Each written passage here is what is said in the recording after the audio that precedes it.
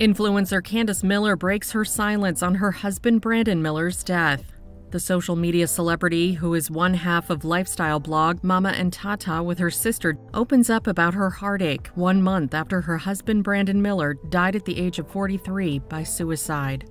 A family spokesperson tells the New York Times in a statement August 8th Candice is devastated by the loss of her soulmate, and her two young daughters' lives are forever impacted by the loss of their beloved daddy.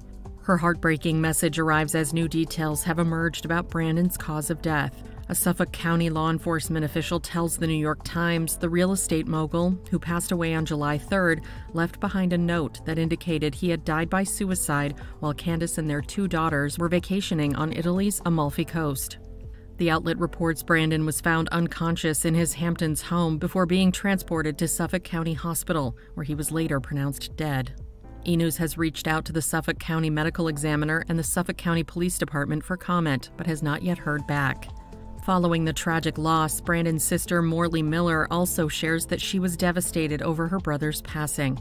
She says in her own statement to the New York Times August 8th, What people aren't discussing in all of this is the loss of my little brother, someone I have loved unconditionally. I have a hole in my heart that will never be filled. Prior to his death, Brandon served as managing partner at Real Estate Equities Corporation and lived with his wife and kids in the Tribeca neighborhood of Manhattan.